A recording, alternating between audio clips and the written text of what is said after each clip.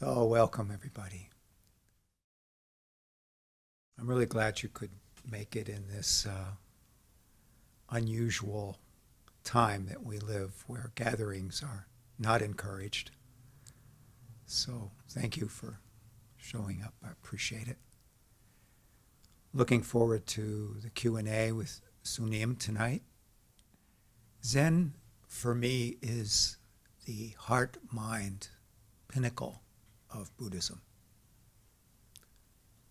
Zen is beyond looking at the scriptures and the teachings and intellectual understanding. It is direct experience. Direct experience of what? Of our lives just the way they are actually right now. What we tend to do in many spiritual circles is put a head on top of our head that's looking for something when the head we already have has everything we need, including the body, the spirit, the mind.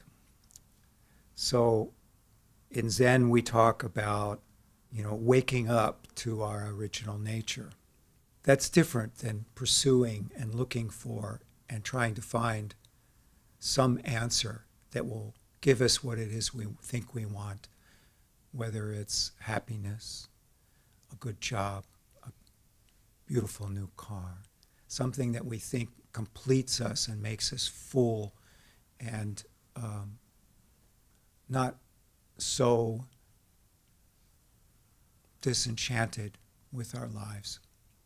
So, our ordinary lives, just the way they are, means paying attention to those little things that we ignore all the time and don't look at because we're so busy chasing things out there. So Zen brings us back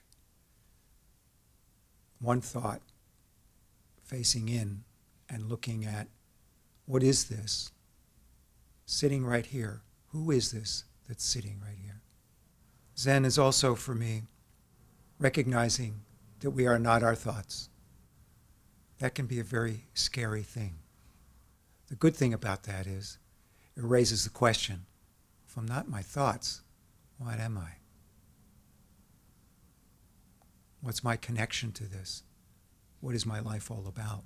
Most of the time, people come to Zen because there's some, some sort of big question in their mind that comes about from their experience, from their own suffering or loss, or just, you know, not understanding why life, it, life is the way it is. Why is there so much suffering? Why do we treat each other the way we do? Why is there so much violence? You know, why is the earth struggling to survive under our influence? All those questions start with going in and understanding our own nature, what motivates us, why we think the way we do, what we hope to accomplish by pursuing whatever it is that we're pursuing. So, heart mind is clear like space. There's no place to go, it's already all there. So, in Zen, we're not trying to achieve something, get somewhere. We're just trying to be present to what is already here, what is, just the way it is.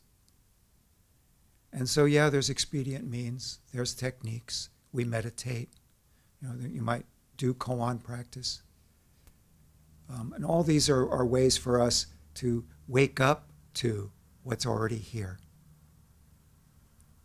So there's really not any place to go. There's just stopping believing in the mirage that you've constructed out of your ideas of what life is, which is the delusion, which is not real.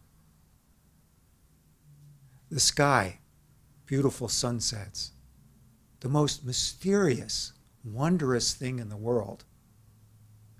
Most of the time, we don't even notice it so preoccupied in our thinking, thinking, emoting about, stressing about whatever is going on And yet we don't see our connection to the very nature of life. Every breath is a connection to everything.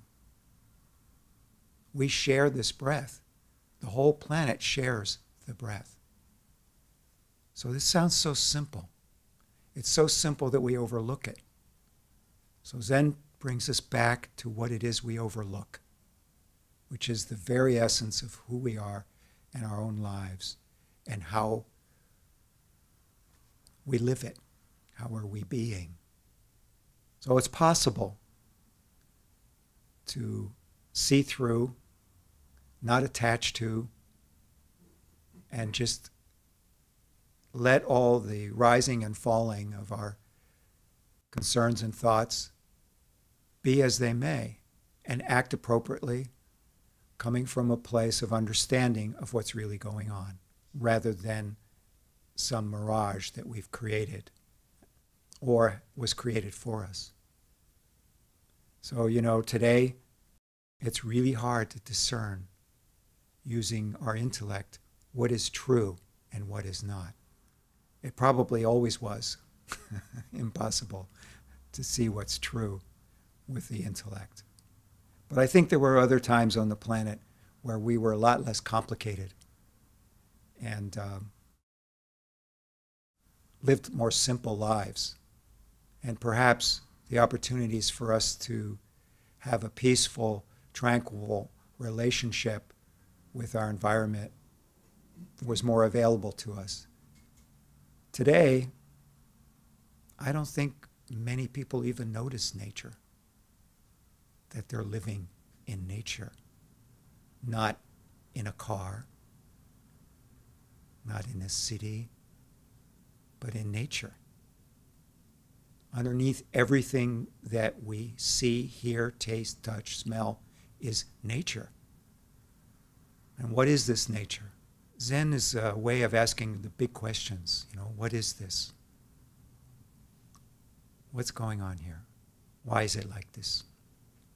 Zen is also getting to know ourselves, and by getting to know ourselves, we resolve these issues that I'm talking about. So there's no place to go. Just be who we are right here and now. I'd like to turn it over to Sunim. And um, I know he's going to have some great Dharma to share with us, so I really appreciate him being here. And I hope you will ask many good questions. So, thank you.